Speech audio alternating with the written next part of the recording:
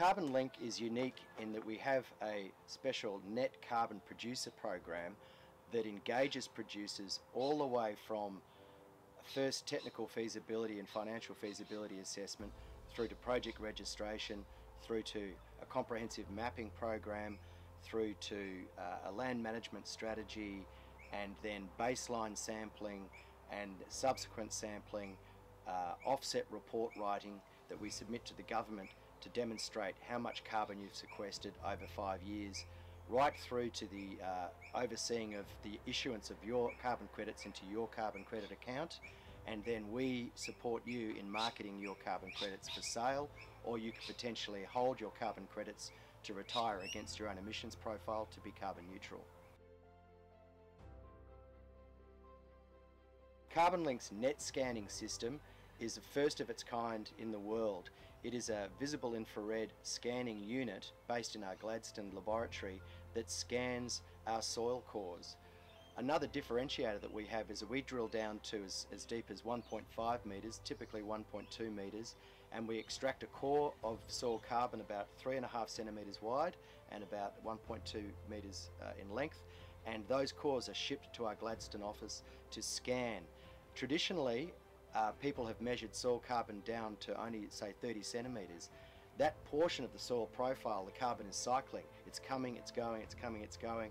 But below 30 centimetres, the carbon eh, it gets stored and stays there. And we make sure that no carbon credit is left behind and that we measure uh, the majority of the soil carbon that's going to be in your soil profile as cost effectively as possible. That's right. Uh, our scanning instrument uh, measures uh, the average of the soil carbon content every five centimetres. Traditionally, uh, agronomists had measured the top 10 centimetres average and then the 10 centimetres to 30 centimetre average and then maybe down to 60 centimetre averages.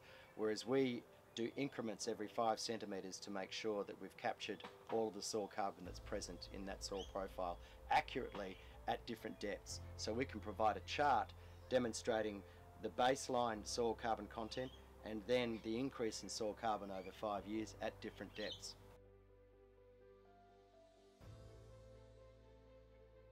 The Carbon Good logo is awarded to producers who have demonstrated that they are on the journey to not only being carbon neutral but to being carbon positive. Many producers possibly are already carbon neutral or carbon positive but they haven't been measured and uh, registered suffice to do so. If you get a Carbon Good logo certification, it demonstrates that you're involved, actively involved in carbon farming towards or beyond carbon neutrality. Carbon Good logo could uh, be advertised on your uh, gate going into your property, on your vehicles, and it could be basically a conversation starter for people who see the logo and say, what's carbon good? And you can say, well, I'm on a journey towards regenerative agriculture and improving my country through uh, regenerative agricultural principles. I'm taking carbon dioxide gas out of the atmosphere and I'm putting it in the soil and I'm avoiding emissions by improving the health of my livestock. Net Spatial is a great component of CarbonLink and uh, comprises a big team of geospatial experts that undertake the mapping that's required to do a soil carbon project. Uh, a soil carbon project uh, must forecast and estimate soil carbon sequestration rates based on variation in soil types across the landscape of the property. In order to characterise a property well, we have to purchase satellite imagery, we have to classify that satellite imagery into uh, forest or eligible area and ineligible area, and we have to we incorporate what they call gamma reflectance characteristics into it. Gamma reflectance looks at variation in soil particle size and can be is very closely correlated to the underlying soil type and the potential for that area to sequester carbon. The process is quite involved to actually find satellite imagery that doesn't have any clouds in it, that is recent, and then it's classified, and then we uh, cut the property up into carbon estimation areas and within that we have strata within any one carbon estimation area. And there are a certain amount of sample points for soil sampling that are required per strata. And all of that information is provided to the producer in, in maps and then the producer can tell us where uh, some of those sample points might run into some trouble like a rock or a tree or a, uh, a creek and we'll try to exclude those as much as possible but it, there's nothing like the producer's uh, knowledge of their property to guide us through the process of the baseline sampling based on the random sample points based on the strata and the carbon estimation areas and the image classification. Very involved process but we've got world-class team involved and we produce some of the best maps in the ERF. CarbonLink's Net Impact Project Plan is a very comprehensive document that enables a producer to make a go no go decision towards registering a soil carbon project or a vegetation project for that matter. And uh, a net impact project plan includes a technical and financial feasibility assessment. We do a deep dive into your soils. Uh, we do we look at the, the climate, the topography.